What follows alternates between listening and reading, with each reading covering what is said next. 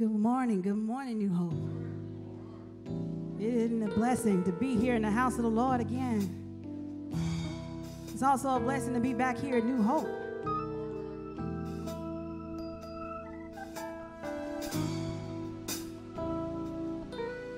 I know you know that we do have angels. He just made mention of angels. Angels all around us now. Our loved ones that has gone on, they are now our angels. They're protecting us from all dangers, unseen.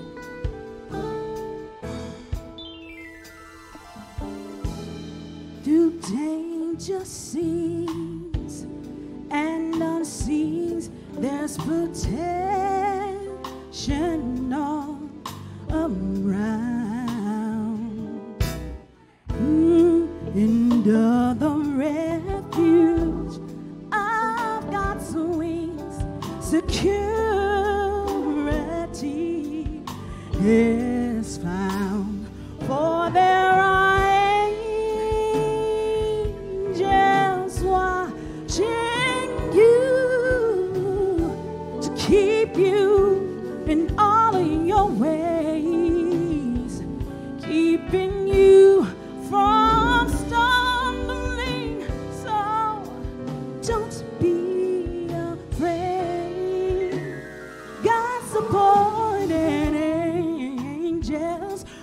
Watching over me. Angels watching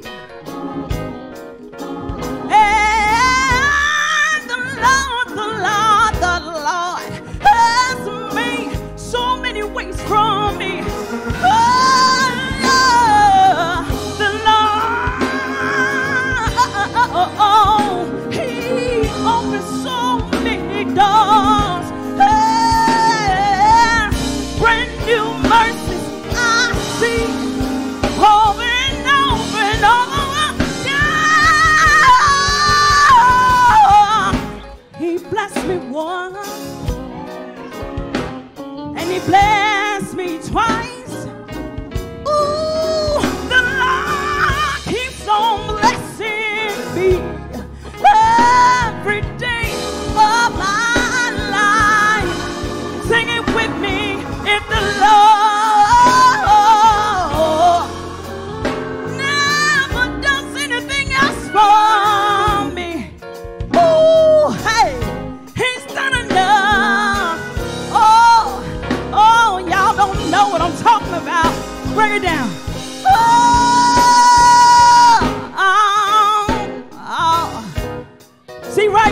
Everybody should be on his feet. If you had food this morning, if you woke up this morning, if you're not in a hospital with this COVID, He has already done enough, y'all. I'm talking about Jesus, y'all. Oh, I'm talking about Jesus. Oh, oh, I'm talking about your Savior, your Master, my Redeemer, everything He is. I'm talking about Jesus because He's done so much for me. I cannot tell it all. Oh, oh my God, if it had not been for you, Jesus, you already know you've done enough for me to say hallelujah and say glory and say thank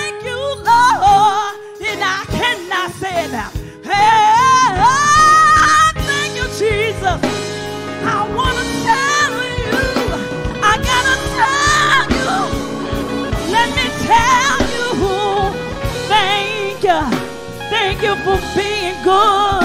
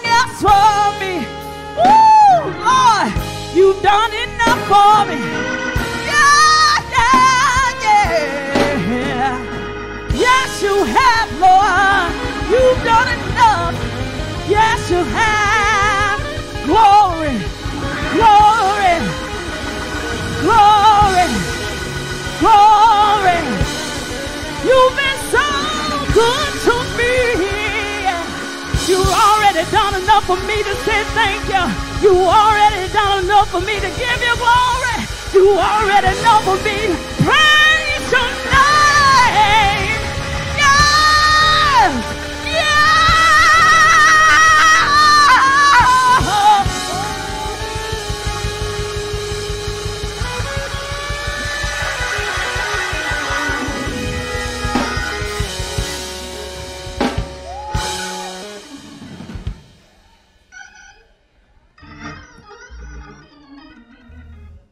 Come on, bless and praise our God. Come on, you ought to give him a better praise than that. Does anybody besides me know he has done enough that if he don't do nothing else, he's already done much more than you and I could ever deserve. And that's why we give him worship. That's why we give him praise. That's why we give him thanksgiving. I wish I had about five more who know what the Lord has done. And when he has been good, and you know he's been good, then you know you should give him praise. Come on, help me celebrate the singing gift of Miss Tara Wilson Barker. Come on, put your hands together for Miss Tara. She blessed us today. Miss Tara can come and sing for us anytime she get ready. Tremendous gift, tremendous voice. Thank you so, so very much. Glad to have our preachers, deacons, and our mothers sharing with us. And to you, our sisters and brothers, we greet you with the joy of Jesus. Amen. Amen to amen. Able to stand, please stand for the reading, reverence, and respect for the Word of God. Zephaniah chapter 2, verses 1, 2, and 3. How many preachers you know going to be preaching from Zephaniah this Sunday? Zephaniah chapter 2, verses 1, 2, and 3. Let's do these verses responsively.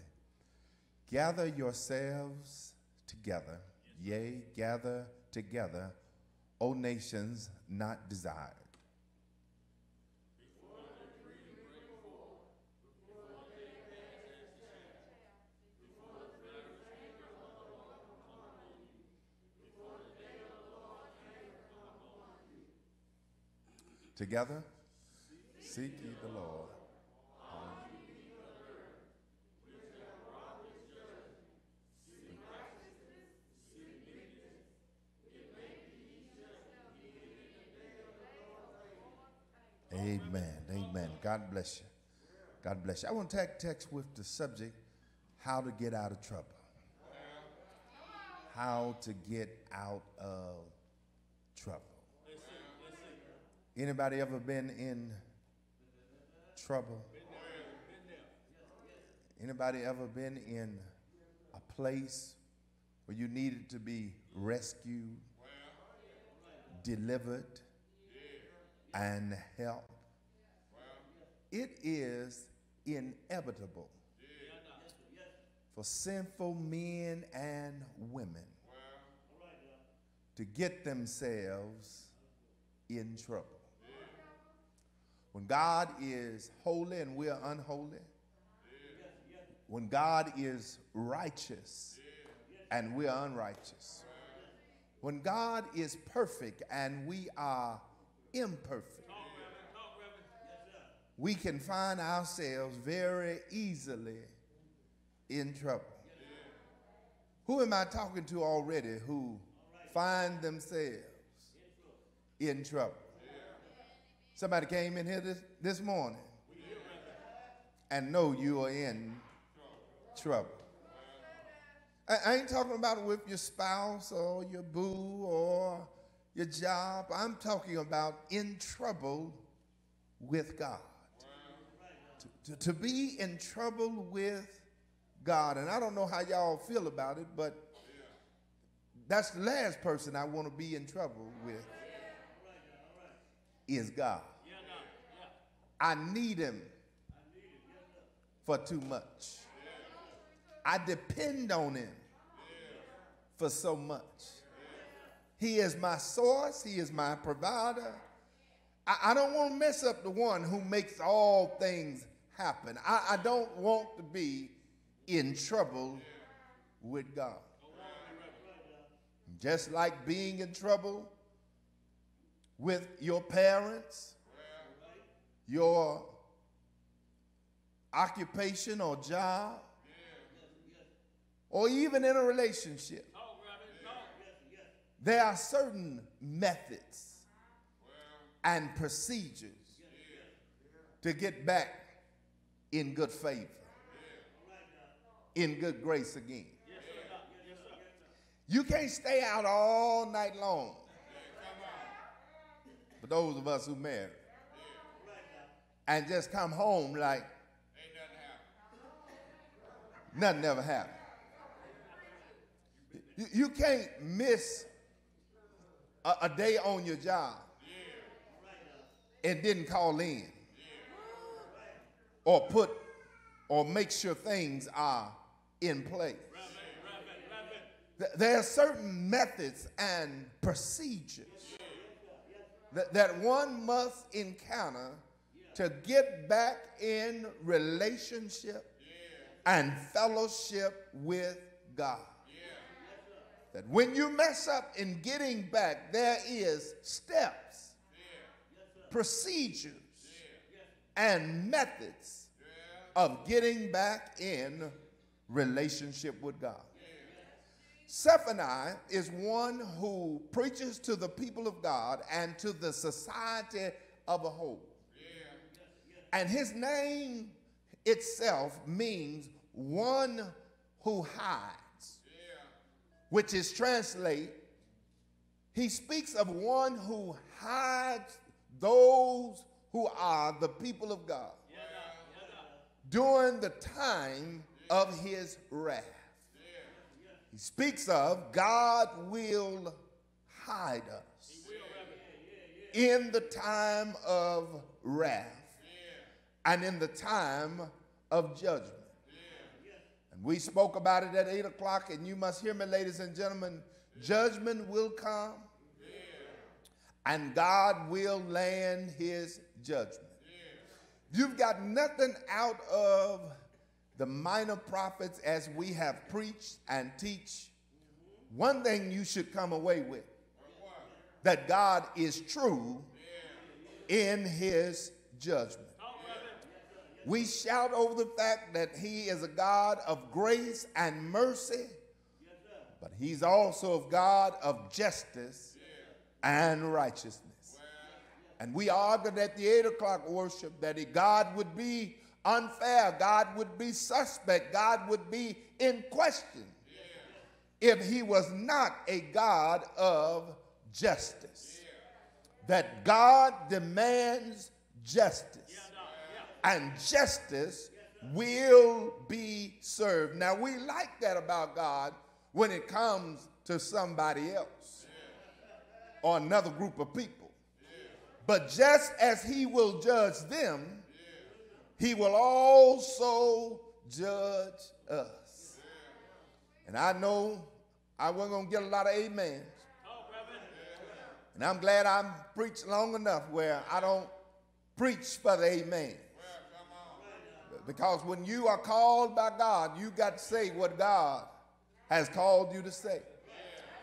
And it does not tickle the ears of people, but I hold, we as black Baptists, we have to move from just having good worship and having a shouting good time and our hearts not changing. It does nothing for us to come in here and praise God and don't leave transformed.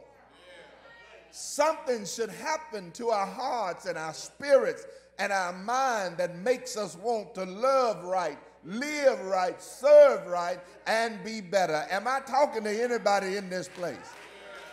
You are here today because you want to be better, and more than anything, you want to be in right relationship with God, even though you find yourself in trouble.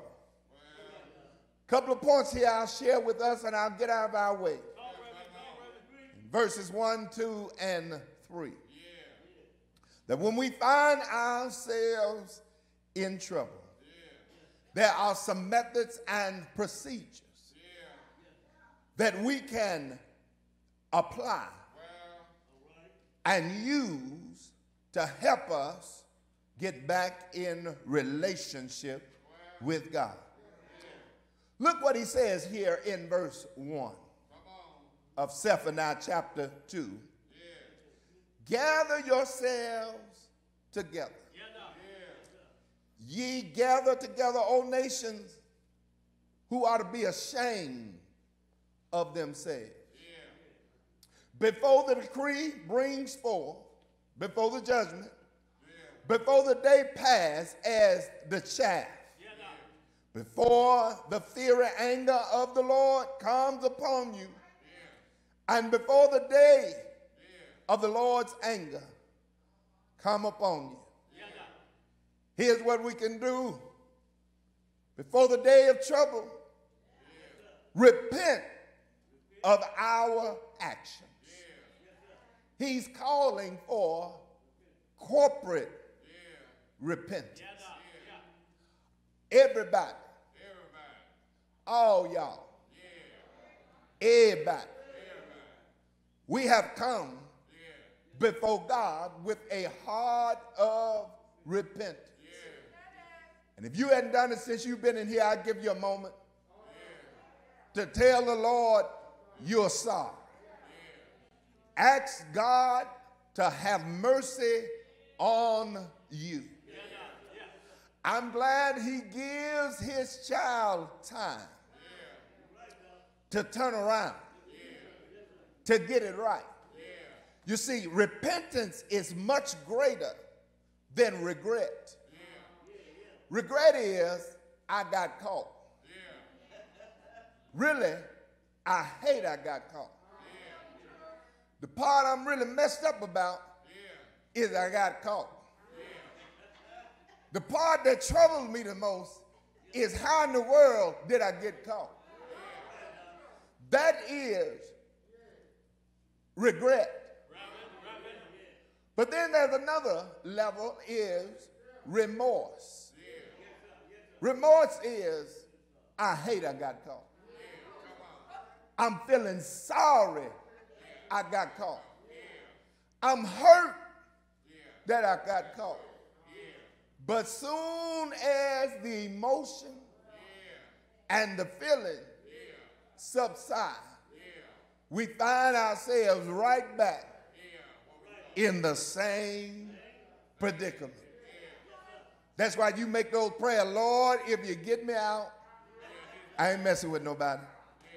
Maybe I'm the only one that prayed those prayers. Lord, if you get me out this time, I won't ever do it again. And you do it again, and you have to come back and say, Lord, I know I said. That is the, the, the, the prayer of repentance and remorse. Uh, but when you have true repentance, repentance, you want to make a 180. You want to turn around from where you are. You, you, you move from just regret and remorse till you want to be better and you want to do better. And you turn away from that that you desired and wanted and turn to something that's even greater. I'm so glad God leaves the road wide enough that you and I can make some U turns. I don't want to get too happy too quick in my message, but how many in this place glad this morning that the Lord left the road wide enough?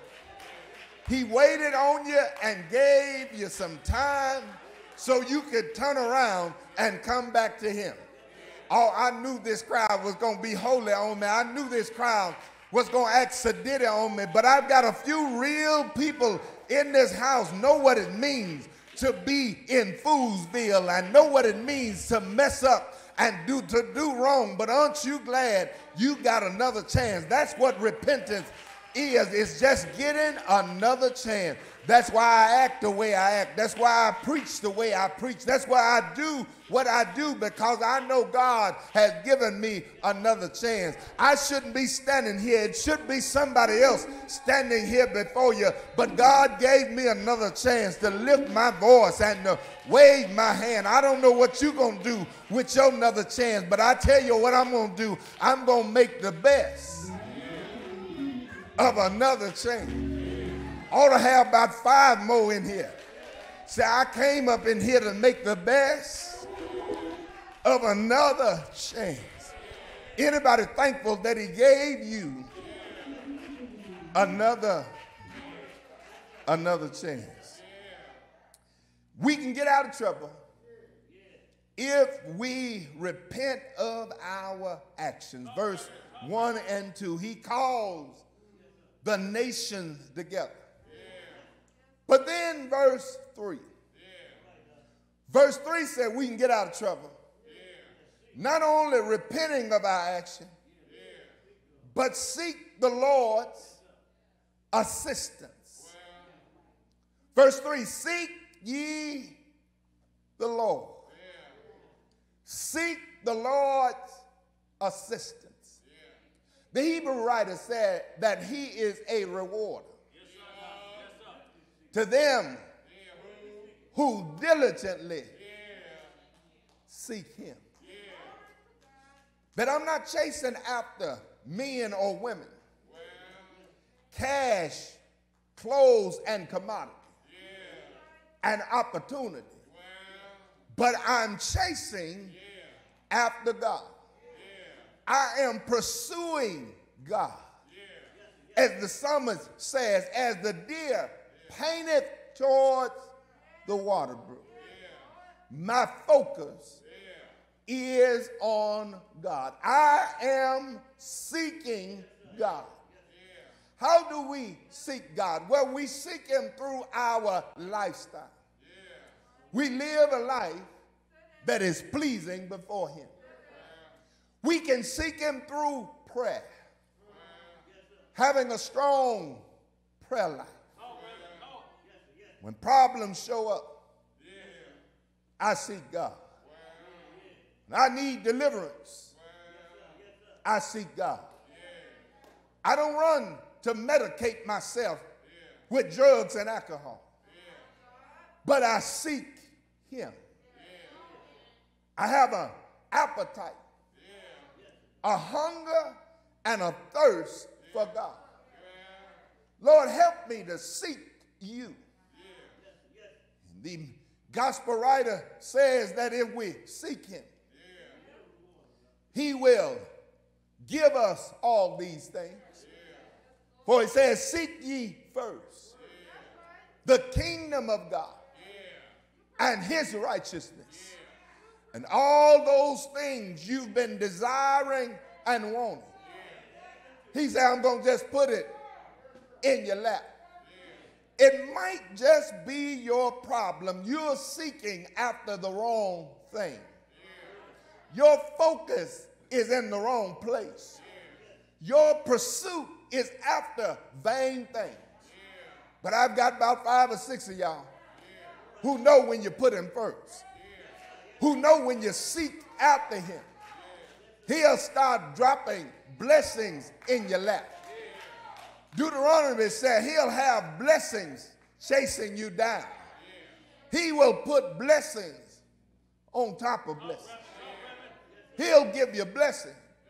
Boy, I'm about to preach my own self happy. He'll give you blessings that you ain't even expecting. You didn't even look for. You didn't even ask for. There anybody know God can bless you like that? But we have to be a seeker of him.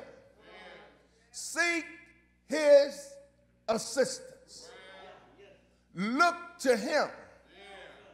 Looking unto Jesus who's the author and finisher of our faith. I got to keep my eyes on him. I got to keep looking to him. Particularly when I find myself in a bad place. When I find myself in a place that's far from God. I got to turn my attention back to God. And I need to seek him for his assistance. let's face it, ladies and gentlemen, this life will put you in places. I don't care how much education, how many degrees you got, how smart you are, and how spiritual you are. Life will put you in places where you need God's assistance. Big Mama theology, I can't stand the storm if the Lord don't help me. I hear my big daddy say, Father, I stretch my hand to thee. No other help I know if thou withdraw thyself from me. Whither shall I go? We need his assistance when we find ourselves in trouble. We need to repent of our actions, but then thirdly, I see y'all want me to go on and bid you good evening. Verse 3 gives us another action. Seek ye the Lord, all ye meek of the earth. We've got to change our attitude. Change our attitude to the point where humility is the order of the day. You don't know nobody like this, but there's some folks who know everything. There's folks you can't tell nothing. The scripture says pride comes before a fall. That they're so lifted up in pride. They're so cocky.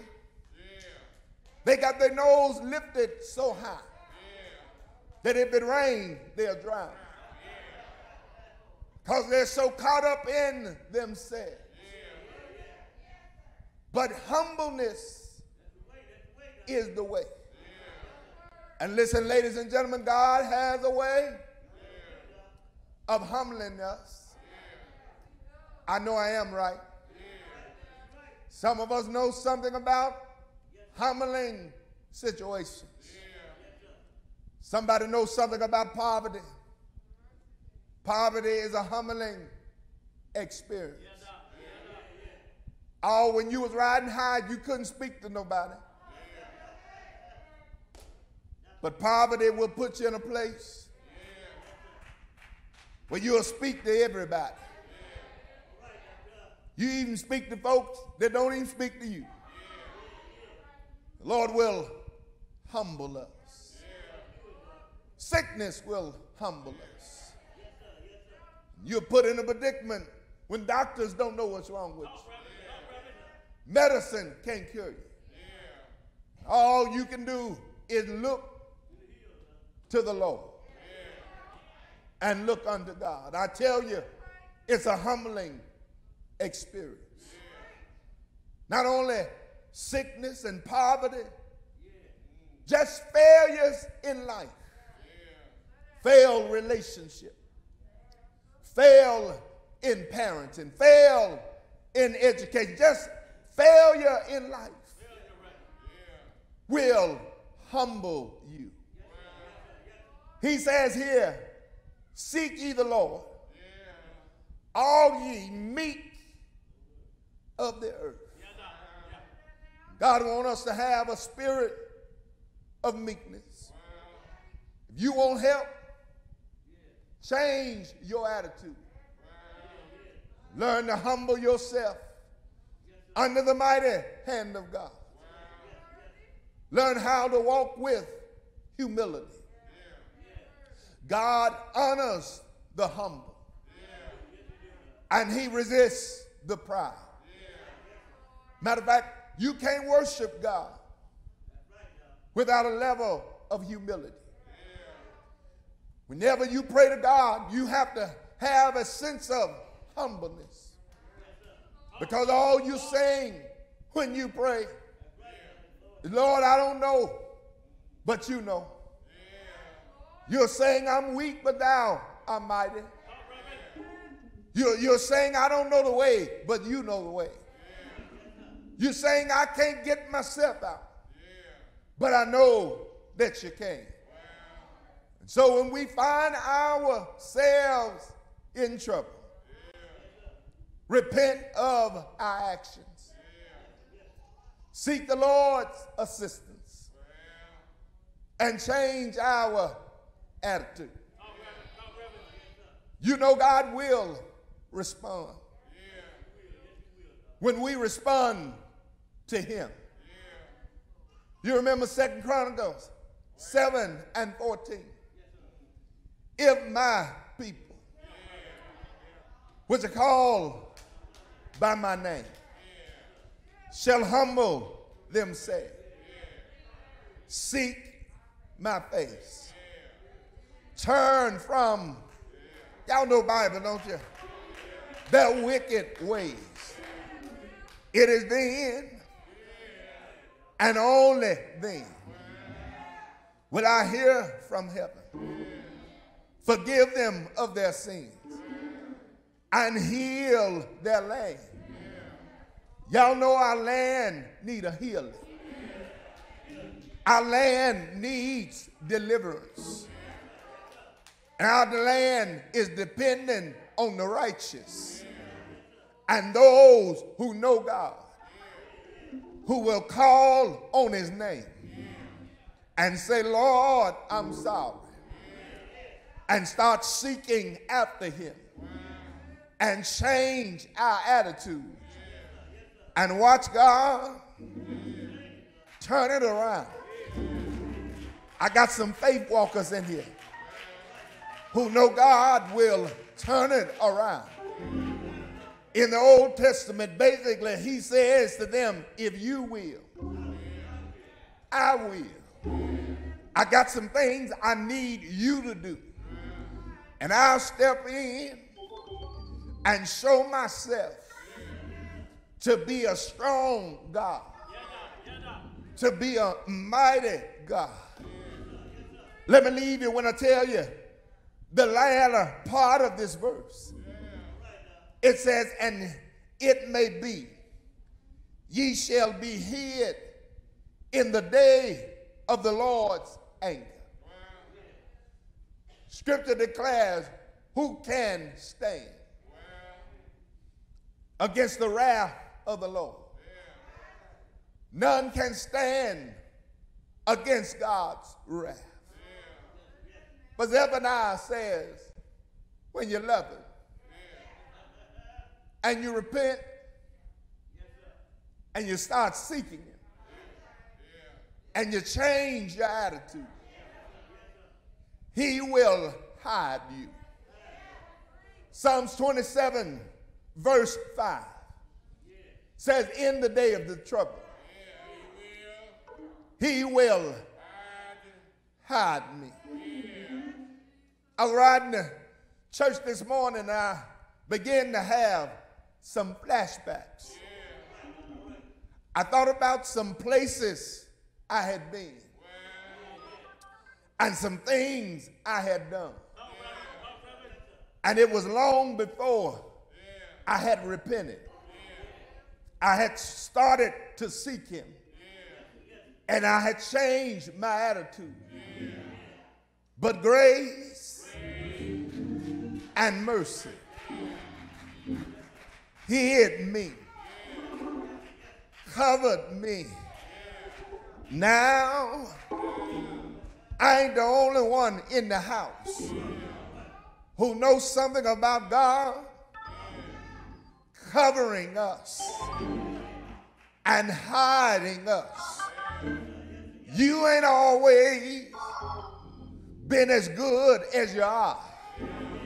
You ain't always been at church on Sunday morning. But that God of ours, with grace and mercy, with judgment pending and looming, He hid us from His wrath. I need about five of y'all who show enough, show enough know that uh, you could have been dead. You ought to have been dead. You would have been dead. But it's nothing but God's grace. His blood covered me. Is there anybody besides me who know it was the blood? Just like in Egypt time, he told them to put the blood on the doorpost. And when God's wrath showed up, the wrath would pass them by. All because of the blood. Is there anybody in this place who can give God a strong praise because you know it was it was the blood. It wasn't because you lived so right and you were so holy. God's blood that was shed on Calvary just for me. I heard the songwriter say, There is a fountain filled with blood drawn in Emmanuel's vein. Sinners plunge, loose all guilt and stain. The blood that Jesus shed for me, it shall never, never, ever, never lose his power. That means when I step out, I'm covered. When I'm coming in, I'm covered. When my family go out, they are covered. When my church move, we are covered. Is there anybody in this place. Who know? You got coverage? I, I, I ain't talking about Geico, Allstate, State. Farm. I, have been covered by his blood. I thank God that when the wrath falls, and the terror comes.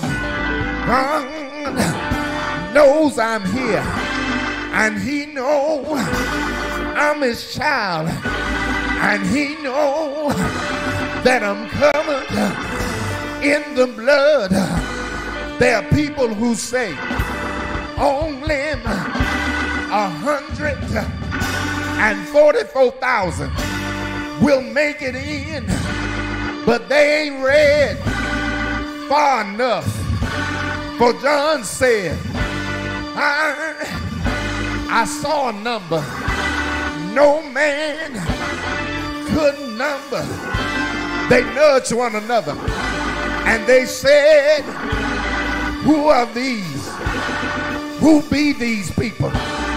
These are they who washing their robe in the blood of the Lamb. They come out. I said they come out of many tribulations. Where my folks at? Who've been rising and falling.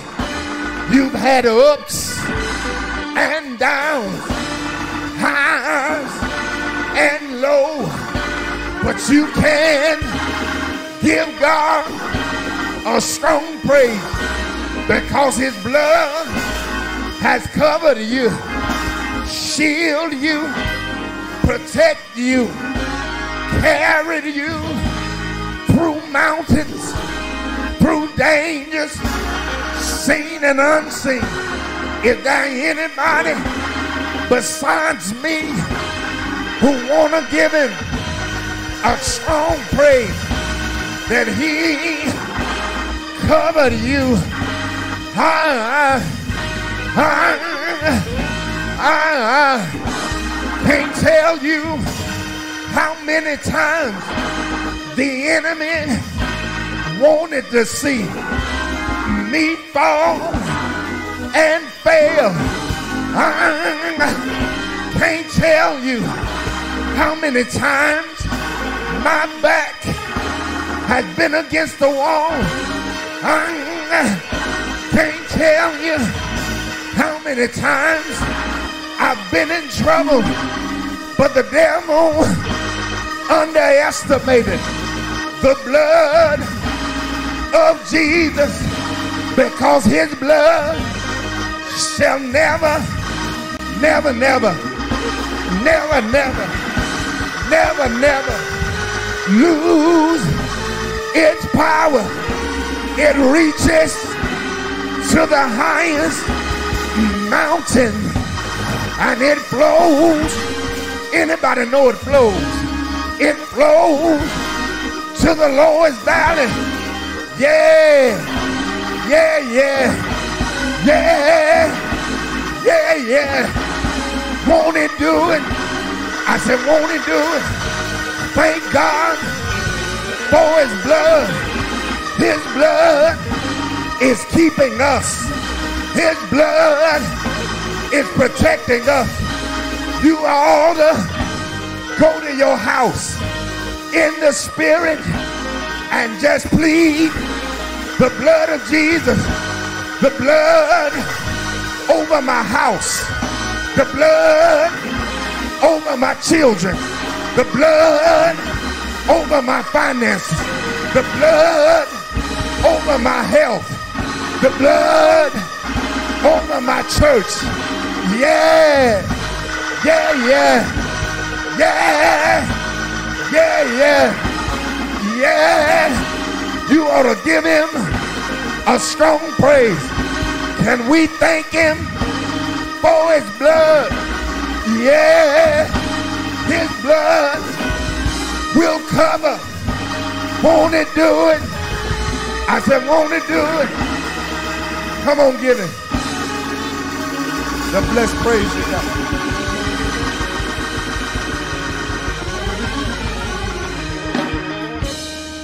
Give him